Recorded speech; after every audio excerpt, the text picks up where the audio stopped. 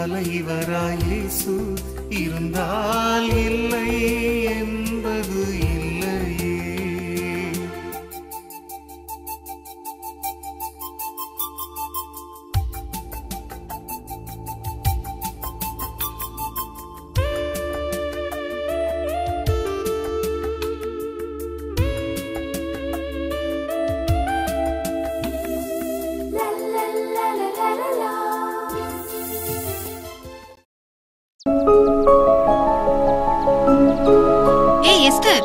என்னாச்சு உனக்கு?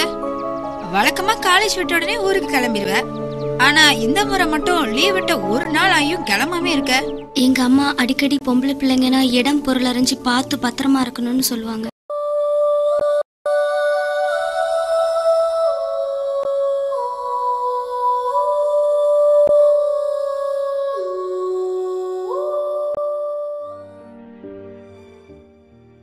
என்னோட வாழ்க்கையில எனக்கு கிடைச்ச சந்தோஷத்துலாம் காணல் நீரா போறதுக்கான சம்பவம் நான் பிஏ படிக்கும்போது நாங்க வீடு காலி பண்ணி இந்த புது வீட்டுக்கு வந்த பிறகுதான் நடந்தது. எங்க அம்மா வெரி போல்டு ப்ரெஷர் பேஷண்ட்டும் கூட. காரணம் அப்பா தவறுனதும் அவங்க மனம் உடையல.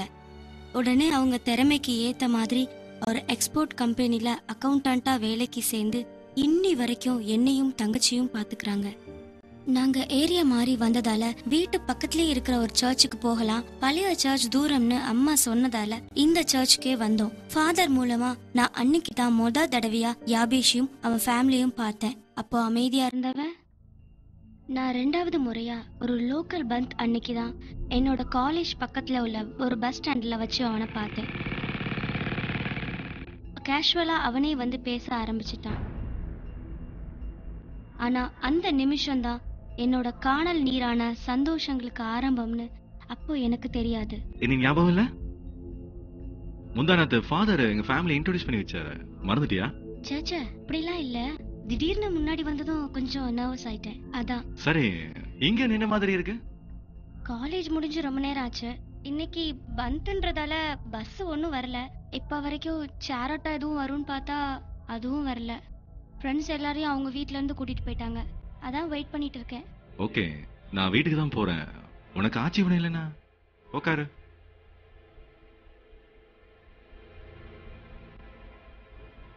நேரம் ஆகுது. இங்க சூழ்நிலையும் சரியில்லை. ஆபத்துக்கு பாவம் இல்ல.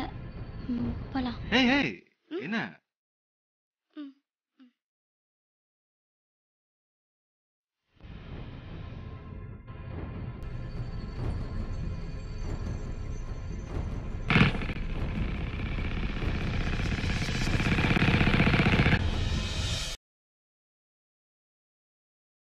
என்னம்மா? தெருவியை பார்த்துட்டு இருக்க இல்லண்ணே. எஸ்தர் காலேஜ்க்கு போயிருக்கா. ம். ஏதோ லோக்கல் வந்தான் சரி. பஸ் எதுவும் ஓடல. அதான் எப்படி வருவான்னு தெரியாம என்ன பண்ணணும் புரியாம ரோட்டே பார்த்துட்டு இருக்கேண்ணா ம். ஆ, என் பையன் வர்றான். வேணும்னா நான் அவனை அனுப்பிட்டோமா? இல்லண்ணே. உங்களுக்கு எதுக்கு சிரமம்?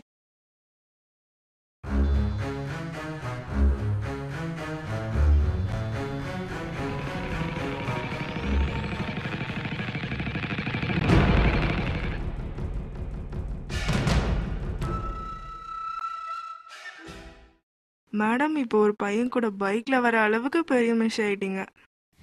அது அது வந்துமா? என்னடி வந்து போய்? உங்க அப்பா விட்டுட்டு போன அன்னைக்கே நானும் போயிருந்தா?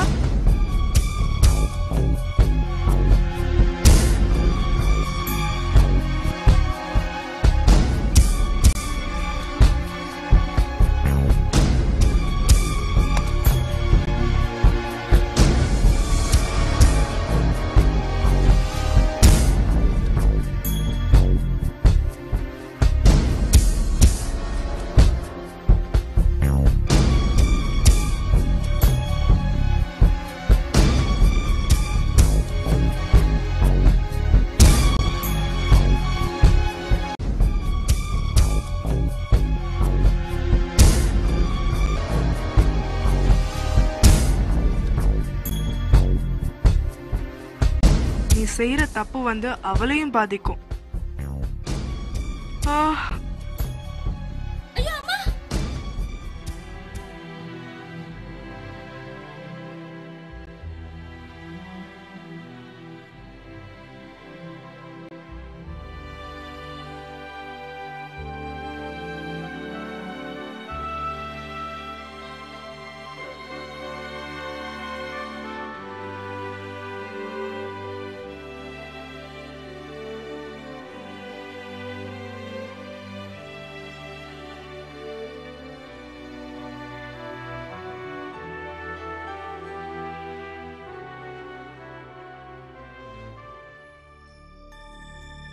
இந்தாம்மா டாக்டர் இப்பந்தான் உடல்நிலையை பற்றி முழுசாக சொன்னார்.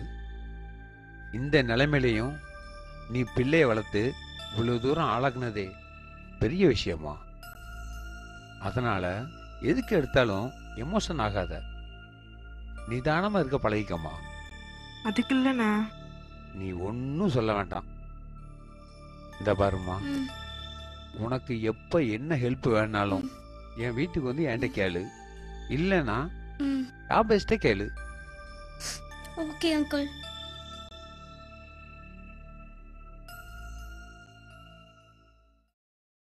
இந்த சம்பவத்துக்கு அப்புறம் யாபேஷ் எங்க வீட்டுக்கு அடிக்கடி வந்து எங்க ஃபேமிலியோட ரொம்ப க்ளோஸ் ஆகி கிட்டத்தட்ட எனக்கு ஒரு அண்ணனாவே மாறிட்டான்.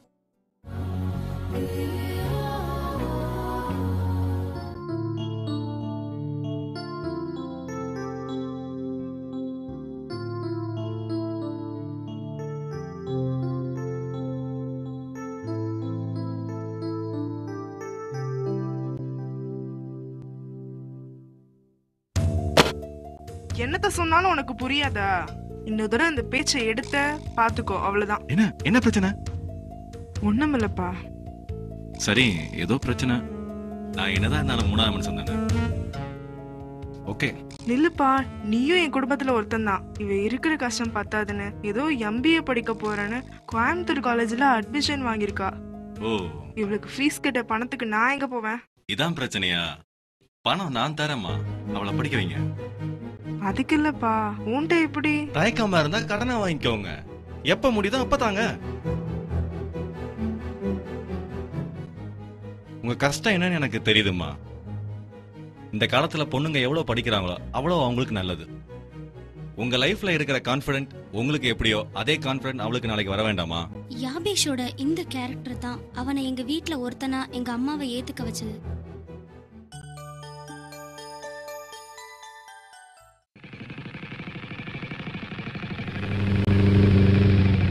என்ன மேடம்? ஃபர்ஸ்ட் செமஸ்டர்லாம் முடிஞ்சிடுச்சு. எப்படி காலேஜ்லாம் எப்படி போச்சுது அட லூசண்ணா காலேஜ் அங்கேயே தான் இருந்துச்சு. நான் தான் டெய்லி ஹாஸ்டல்ல இருந்து காலேஜ் போனேன். எம்பிஏ படிக்கிறியோ இல்லையோ? நல்லா பேச கத்துக்கிட்டேன் தேங்க்ஸ் ப்ரோ எவனேஷக்கா என்னக்கா? என்ன எஸ்தர அபிஸ் வந்து விட்டுட்டு போன மாதிரி இருக்கு? ஆமாக்கா.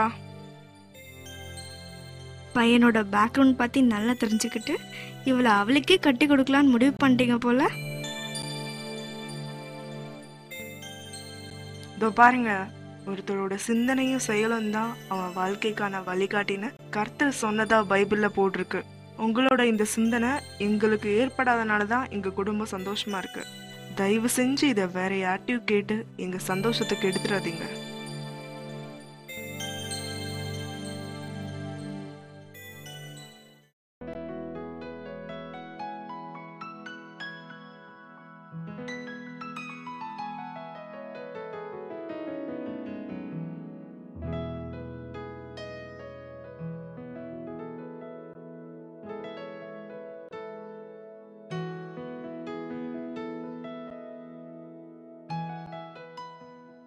ஆமா நானும் நம்ம காலேஜ் ஆரம்பிச்ச நாள் முதல்ல இருந்து பாத்துட்டு இருக்கேன் ஊருக்கு போகும்போதும் தனியா போற வரும்போது ஒரு துணையோட வர. யாரடி அவன்? ஹே ஹீஸ் மை ப்ரோடி ப்ரோனா முகச்சாடைய பார்த்தா அப்படிலாம் தெரியலையே.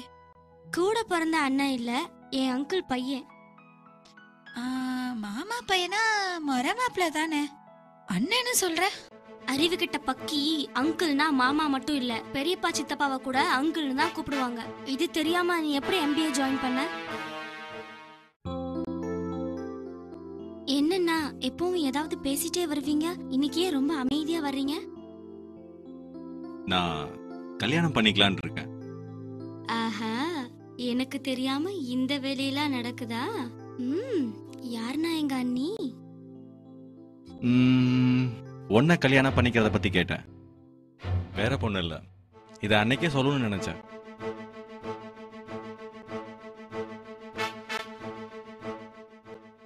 சூழ்நிலை காரணமா நீ எம்பிஏ முடிக்கும் போது சொல்ல வேண்டியதாச்சு இப்ப ஒன்னும் பெரிய வித்தியாசம் கிடையாது. இவ்வளவு நாள் அண்ணன் கூப்பிட்டு இருந்த இனிமே அத்தான் கூப்பிட போற. இது ஒரு பெரிய விஷயமே கிடையாது. ஜஸ்ட் டூ வேர்ட்ஸ் எதுவும் பேச மாட்டேங்கிற? ஏய் ஏதாவது பேசிட்டு போயா? ஏய்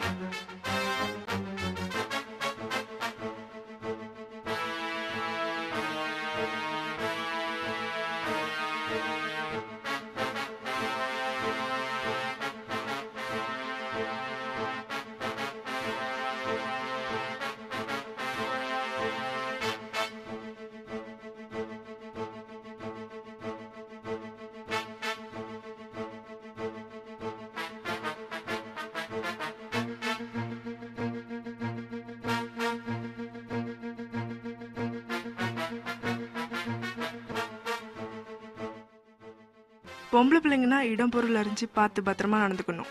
இல்லைன்னா அதோட விளைவுகள் என்னவானாலும் இருக்கலாம்.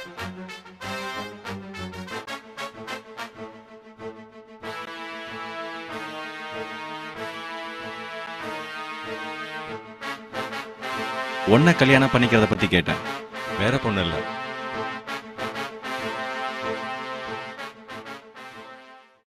ஊருக்கு போறது பெருசு இல்ல.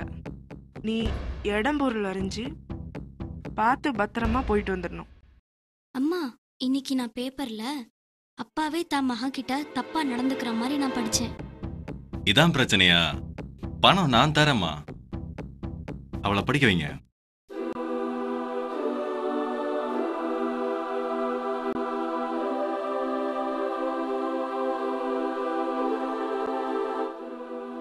என்னாச்சு எனக்கு? ஏன் இப்படி ஆயிட்டேன் அப்போ ஆம்பளை துணை இல்லாத வீட்ல எல்லாம் பொம்பளை பிள்ளைங்களுக்கு இதான் நிலைமையா?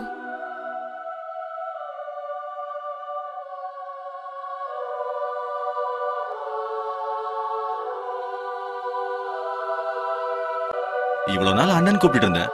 இனிமே அத்தான் கூப்பிட போறேன்.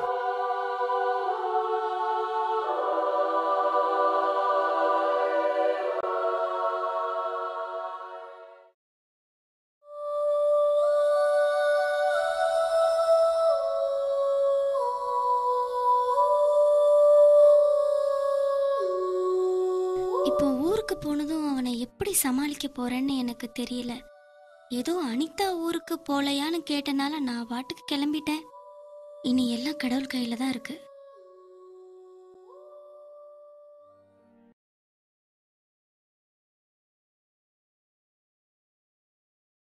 எஸ்தர் எப்ப வந்த? நேத்து நான் உனக்கு பஸ் ஸ்டாண்ட்ல ரொம்ப நேரம் வெயிட் பண்ணேன்.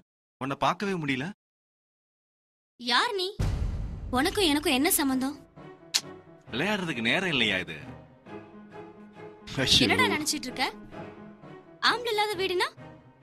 நம்ம என்ன வேணாலும் பண்ணலாம்னு நினைச்சிட்டு இருக்கியா கேட்க எவன் வருவான்னு நினைச்சிட்டு இருக்கியா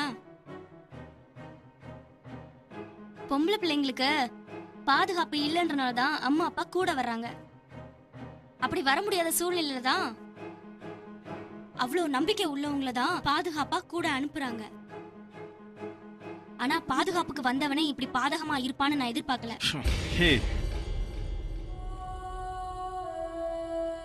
உன் மேல அளவே இல்லாத அளவு நம்பிக்கை எங்க அம்மா வச்சிருந்தாங்க. அவங்களுக்கே துரோகம் பண்ண நீ எனக்கு துரோகம் பண்ண மாட்டேன்னு என்ன நிச்சயம்?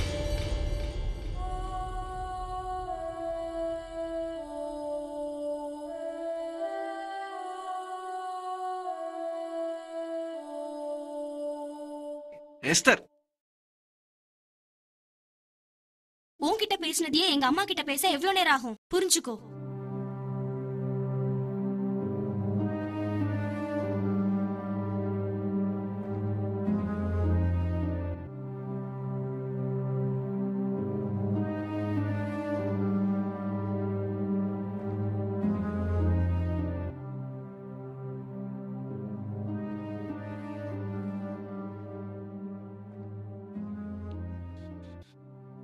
என்னடா நினைச்சிட்டு இருக்க ஆம்பளை இல்லாத வீடுனா?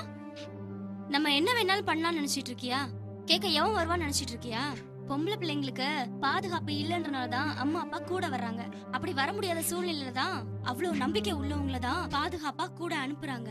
ஆனா பாதுகாப்புக்கு வந்தவனே இப்படி பாதகமா இருப்பான்னு நான் எதிர்பார்க்கல. உன் மேல அளவே இல்லாத அளவு நம்பிக்கை எங்க அம்மா வச்சிருந்தாங்க. அவங்களுக்கே துரோகம் பண்ண நீ எனக்கு துரோகம் பண்ண மாட்டேன்னு என்ன நிச்சயம்? அவங்களுக்கே துரோகம் பண்ண நீ எனக்கு துரோகம் பண்ண மாட்டேன்னு என்ன நிச்சயம்? அவங்களுக்கே துரோகம் பண்ண நீ எனக்கு துரோகம் பண்ண மாட்டேன்னு என்ன நிச்சயம்?